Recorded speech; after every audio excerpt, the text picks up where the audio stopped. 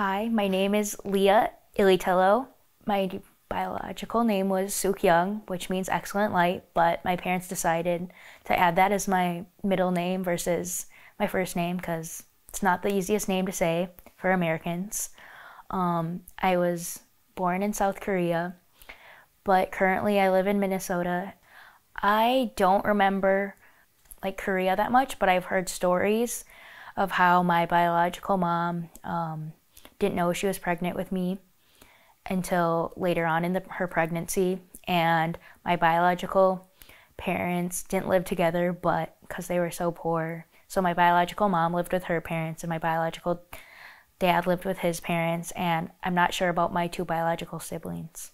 I got paperwork um, from the agency, but the bare minimum information about my siblings. I think I just came with those papers, and I think my mom just knew about that information, and she knew a little bit about my biological mom and father. It was difficult growing up. I remember getting surprised looks from my classmates and people who are a couple years older than me or any age that I was related to my sister. She has blonde hair, blue eyes.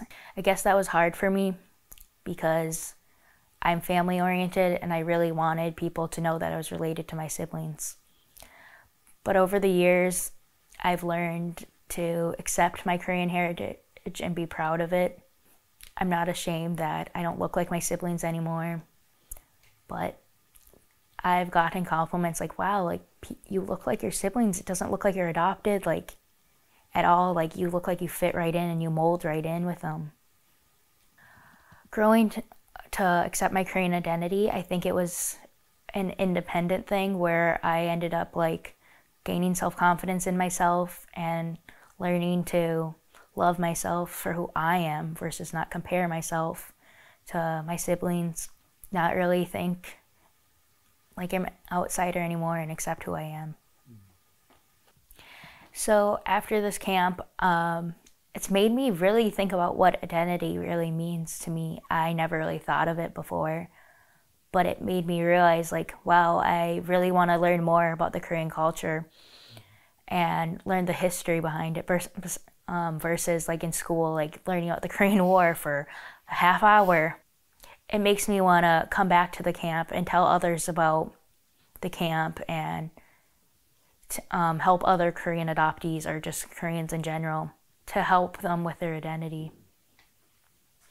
It's been an emotional experience. I remember last year around the pandemic time, um, I decided to write forgiveness letters to my biological family, my biological mother and father, and my biological brother and sister. I didn't realize how much bitterness I had um, towards my biological siblings, especially. I think it was jealousy in a way that they got to live in Korea. I knew I had some of the bitterness, but I realized writing those letters was so healing. Um, the healing had a different effect on me, realizing, like, wow, like, I want them to have a great life as well and to be healthy and happy as well. I don't want any bitterness towards them.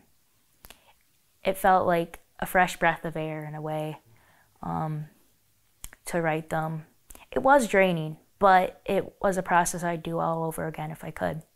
The reason I did this is because I realized like I could go to therapy, I could um, do all these different things, but ultimately I think I have I had to do it for healing for myself and to learn to forgive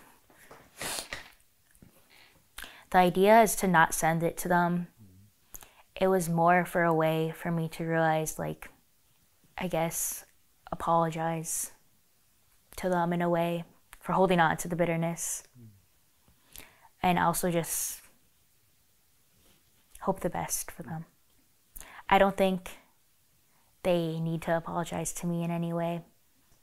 I believe my biological mother wanted a better life for me, and for that just makes me happy. The saddest moment um, think of would have to be finding out that my grandfather had cancer and got progressively worse, and finding out that um, not being able to say goodbye um, was really hard for me because I held bitterness against myself or unforgiveness, thinking he was angry at me because he was mad at me before because I tried to offer him something, trying to help. Again, with my grandfather, um, there was a bully on the bus. Um, I don't have my license yet, so I rode the bus. Um, there was a kid being inappropriate, um, and I remember talking with him. He's like, you know, Lia, like, I'm really proud of you. And ne- he's a very stoic man. Like, it's not very encouraging always. Um, and I remember just having a moment with him in the car, like waiting for my dad to bring him home. He just told me, like, wow, Lia, like, I'm just so proud of you. Like, I've never heard him say that to anyone in my family before, or at least that I heard. Um, and I realized, like, wow, like, I need, I want to stand up for like people and it's not okay for people to be treated badly, and I want to do this more often. I do have a voice. I've definitely thought about wanting to know my biological family a lot since I was a little girl. But as I got older, especially during the pandemic, I realized like my adopted family is my family. And I don't like to call them my adopted family necessarily because my parents raised me and my siblings I told them like, "Oh, like did you ever see me differently?" Like they're like, "No. Lia, you're my sister. Never saw you differently. You're not different than us."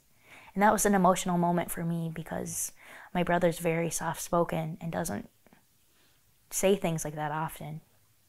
I would say they are my chosen family for sure. I remember as a kid, my mom told me, she's like, Lia, we were missing a piece, like to our puzzle piece. We just didn't know what it was. And then when you came, it just was complete. I have felt self conscious before trying to find my family, um, biological family, that is, especially with my adopted dad. Um, I think, I'm not positive, but I feel like it's hard for him in a sense because when I do talk to him about the racism I have got, um, I think it deep down it hurts him but he just doesn't want to hear about it.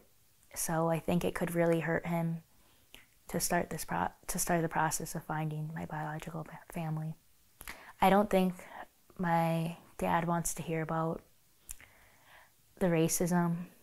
I feel like he's experienced or mistreatment from people before, or he's experienced, um, or he's seen or heard other people um, experienced things worse than I have, and I believe or I feel like he thinks what I've experienced is less than them. I think that is true. I've not experienced as worse treatment as some people, but I believe my feelings are still strong in a way, and that it does hurt. And it has been a process of healing from that and not letting these things get to me and be my identity.